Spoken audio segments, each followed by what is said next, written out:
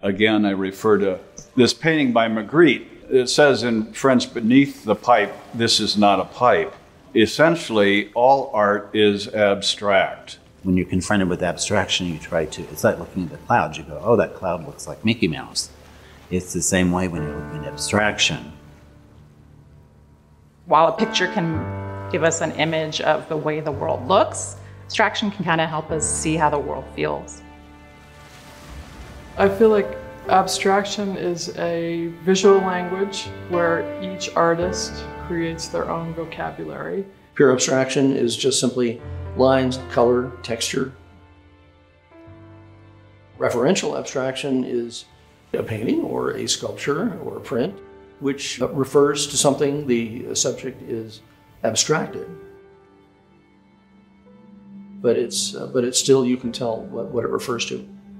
And historically, it's been reductive abstraction. So you abstract from the world, which means you take something and then you reduce it to find a kind of truth in it. But I have had a problem understanding what is meant by abstraction anyway. But there's also non-objective painting.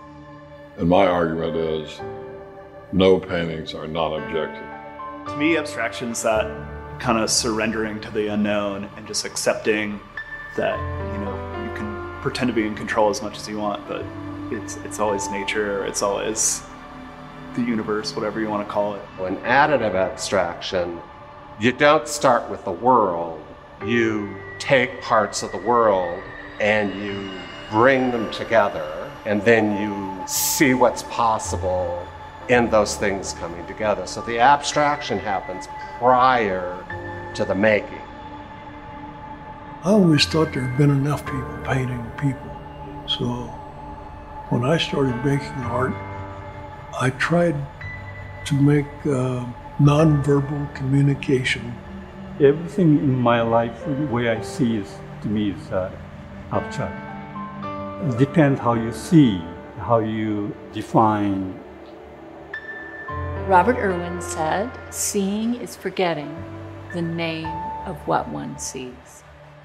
A lot of what I do is a distillation of ideas, qualities and characteristics of material or a site or a particular experience.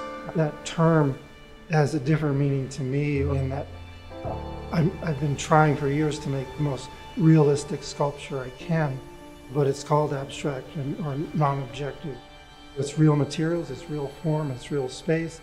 It's as real as I can make it.